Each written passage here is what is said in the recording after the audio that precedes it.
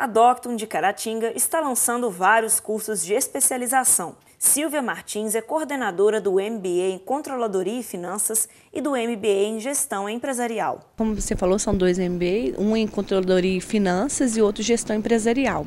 Na verdade, como que vai acontecer essa, essa pós? É, serão 12 módulos, né? esses 12 módulos são módulos presenciais, eles acontecem uma vez ao mês e interessante, né, porque nós preocupamos muito com essa questão né, do corpo docente.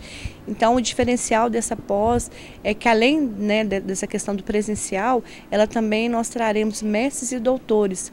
Então, são pessoas de renome, né, é, é no, no, nosso país e com formação adequada a trabalhar com, com esses MBAs. Segundo a coordenadora dos dois MBAs, os cursos são indicados para profissionais das áreas de ciências contábeis, ciências econômicas, administração e tecnólogos. A aula inaugural, que acontecerá nos dias 3 e 4 de junho, será com Alonso Mazini, referência na área de consultoria. Ex-alunos da Docton têm desconto de 30% nos cursos, o que facilita o ingresso daqueles que buscam qualificação no mercado de trabalho. A gente vai estar tendo a nossa aula inaugural agora dia 3 de junho, né, é, às 19 às 23 horas e no sábado também, dia 4 de junho. É, essa aula inaugural nós teremos né, o professor, doutor, pós-doutorado, é, o é, professor Alonso Mazini, ele possui uma empresa, né, sócio de uma empresa de consultoria, pós-doutorado dele é em administração e ele também trabalha no MBA da USP. Esse módulo né, ele, ele promete, né, pelo, pelo currículo do professor, a gente sabe que vai ser um, de extrema importância, principalmente nesse cenário econômico hoje, e é a proposta mesmo da, dessa pós, né, é, é qualificação mesmo, é dar oportunidade, uma continuidade né, na formação é, de qualidade para essa inserção mesmo no mercado de trabalho, que hoje tem cobrado muito, né? principalmente no diz respeito à gestão, é, a questão da gestão financeira, né?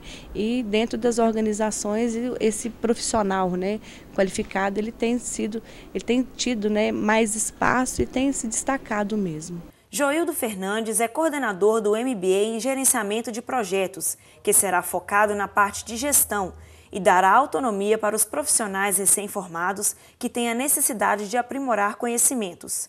É indicado para alunos de várias áreas. Nós trouxemos essa proposta do MBA em Gerenciamento de Projetos, que vai se realizar aqui em Caratinga, com toda a qualidade dos cursos que acontecem nas capitais. Né? Nós estamos focando em trazer profissionais qualificados São Paulo, Belo Horizonte, do Rio de Janeiro para dar, ministrar esses cursos aqui, né? Então nós estamos trazendo a qualidade dos cursos de gerenciamento de projeto para para Caratinga, né? Para beneficiar os nossos alunos, né?